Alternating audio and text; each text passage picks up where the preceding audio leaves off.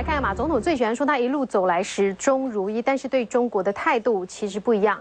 他的态度、他的考量、他的强硬程度，完全跟他的选举利益息息相关。我们来看，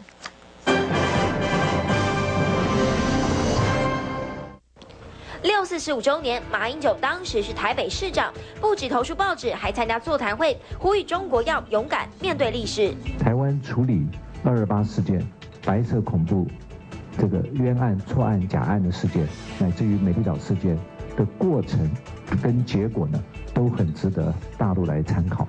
强硬的口吻公开回应六四，时间再往回推到二十年前，一九八九年天安门事件爆发，马英九当时是研考会主委，公开谴责北京暴行，还捐款一万美金支援六四学生。二零零五年和零六年，马英九当了国民党主席，接受媒体访问时还强调要平反六四天安门事件，声援法轮功，更批判反分裂法，也说中共迟早必须在政治上为一九八九年的命运平反。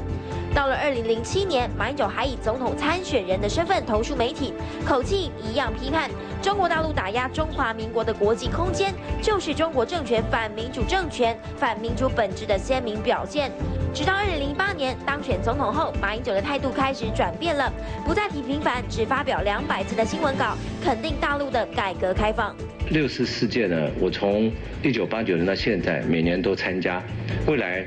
我基本上还是会参加，但是方式呢，也许会做一些调整。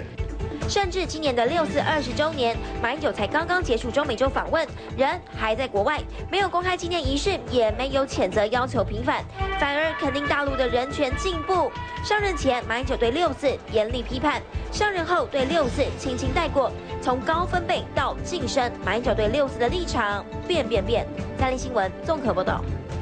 好，我们来看看呢。其实这个 BBC 的中文网也有注意到这样的一个趋势，所以呢，我们看呢，它针对这个呃六四十九周年跟六四二十周年都做了这个总统的一个态度的一个转变。十九周年他当选了嘛？他翻转了对中共的评价，好，这个语调跟调性是大幅度的翻转。那么在前一年他还没当选的时候呢，他一开头就把六四定位为中共政权以武力血腥暴压学生的民主运动。这个一这总统啊嘛哈啊，两岸关系要和缓了，他拍供啊，所以你的画风一转攻，诶六四啊，公公公公啊不要公啊，这个发生大地震，大中国官方抢救灾民的迅速，大陆首长对灾民的关怀，灾难跟抗争新闻报道的开放，哎，讹了几堆的地啊啦，这个一当中一些人可能是想讲吼。